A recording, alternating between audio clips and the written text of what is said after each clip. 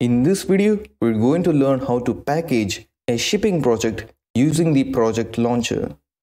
So typically, if you want to package a project, you would have to first modify some settings in the packaging settings over here. Then choose the platform you want to package your game for and then select package project. So I'm not going to go in depth on how this works since there are plenty of tutorials for this method of packaging already. But there is another way of packaging your projects and that is by using the project launcher. Alright, so that is this one over here, project launcher. And I'm also sure some of you watching might be facing a bug in Unreal Engine where if you package a shipping project for release through the previous method, that is by going through this setting over here and clicking package project, then the packaged game file will still have access to both the console and the logs and you don't want the players to have access to the console. So this is a known bug in Unreal Engine and even the moderators in Unreal forums are aware of this. So hopefully in the future this issue gets fixed. But for those of you who are still using an older version of Unreal Engine 5 and you don't want to update your project to a newer version, then your only solution at the moment is to package a shipping project through the project launcher. Again, that is this one over here. And I do want to mention something. I'm not going to explain every single settings in the project launcher because that would make this video a bit too long. So I'm going to add a link to the documentation for the project launcher in the comment section and in the description so you can check it out on your own. But in this video, I'm only going to explain on all the settings that are relevant on packaging a shipping project for public release. So with that done, over here in the project launcher window, you can see there are two views over here. This view over here is known as the default launch profile.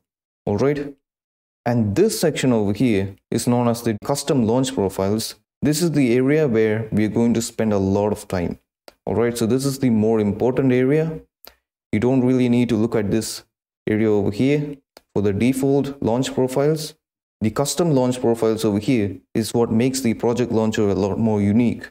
Alright, so you can see I already have a custom launch profile over here. So I'm just going to delete this off. Alright, so by right clicking, you can delete it off and then add this by clicking on the add button over here and then select create custom profile and it will create this settings over here. So over here you can actually change the name of your custom profile over here. So i'm just going to call this testing profile. And you can choose to give a description over here. And then over here you have the build section over here. So it says do you wish to build? So click on the detect automatically and select build and then behind that we have the build configuration. And again over here we're trying to package a shipping project. Alright so make sure to select shipping over here. And then under the advanced settings we don't need to modify any of the settings over here. So just leave it as it is. And in the cook section alright so you say how would you like to cook the content? Make sure to click on the drop down box over here and then select by the book and down below we can see a bunch of options so for the cooked platforms make sure to drag down and select Windows.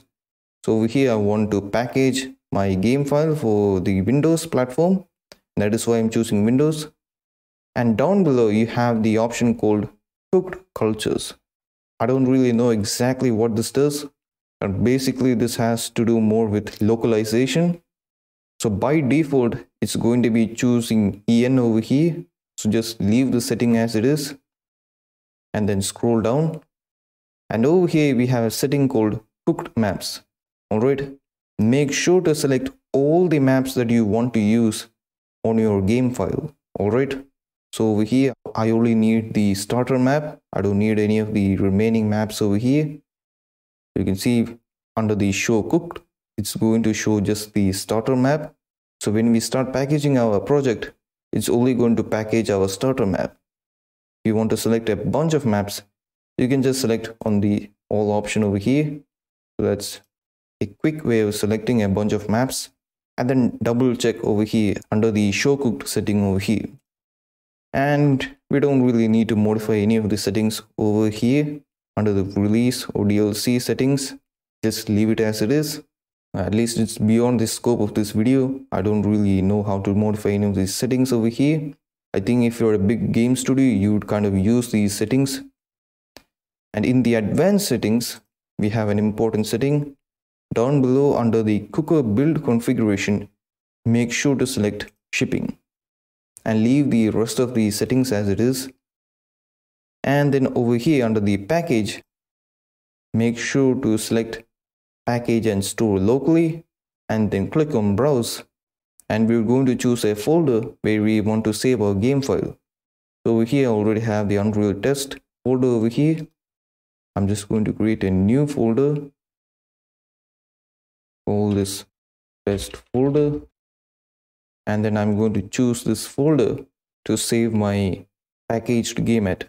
So I'm going to select select folder and then leave the rest of these settings as it is and then ignore the archive settings over here. We don't really have to archive anything.